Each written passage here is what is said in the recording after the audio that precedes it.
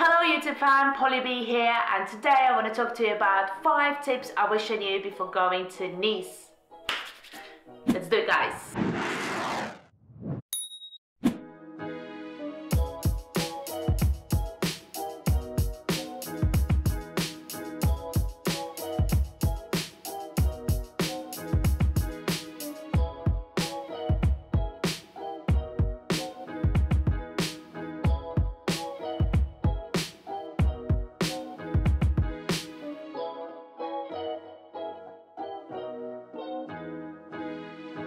You see, for me, Nice always used to be this romantic destination which I've seen so many times in the movies. I always wanted to come down here and just kind of walk on a promenade and eat my ice cream in the sunshine and I've done all of that. I came here for three days, had absolutely amazing time and enjoyed every single minute out of it, learned so much, done so much and met loads of awesome people. But back to the point.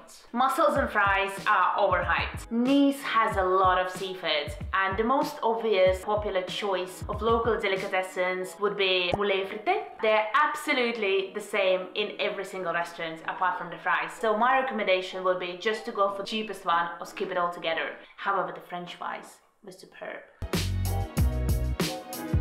don't get a car. The roads in Nice are crazy and they're super narrow. The parking space is so very limited. You're still gonna end up walking anyway. And the public transport is just superb and works like clockwork. Thoroughly recommend that, honestly. And Nice is so gorgeous. Why would you need a car?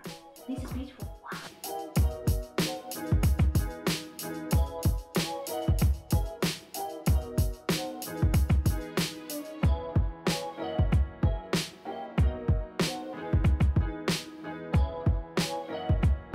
Explore the local region. Seaside with Old Town and Castle Hill will take you about a day, that's without the museums though. Jump on the train, jump on a bus and explore the local villages. Everything, and I mean everything, is about half an hour away and it costs 150 euros one way. And voila. And voila.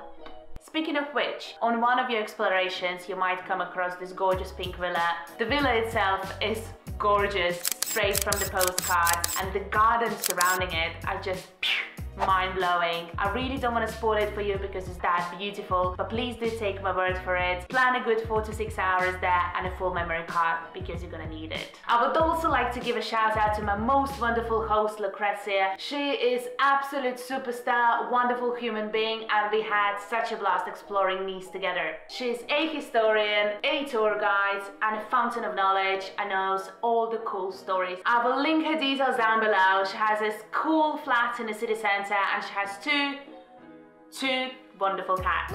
She also knows all the cool spots as well as delicious vegan places.